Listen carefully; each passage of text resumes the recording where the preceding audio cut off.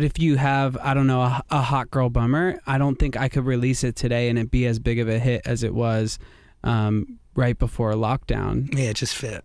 Uh, hot girl bummer was kind of me in the club. Sing. It was when I was single, and I was like freshly out of a relationship, and I was I just I turned to the club and turned to my promoter friends to take me out and show me a good time and pay a bunch of girls to be around us and like get the bottles with the sparklers and like everything and like play my song and like make it make me feel like I'm a way bigger artist than I am and I like I just made Hot Girl Bummer about that that experience.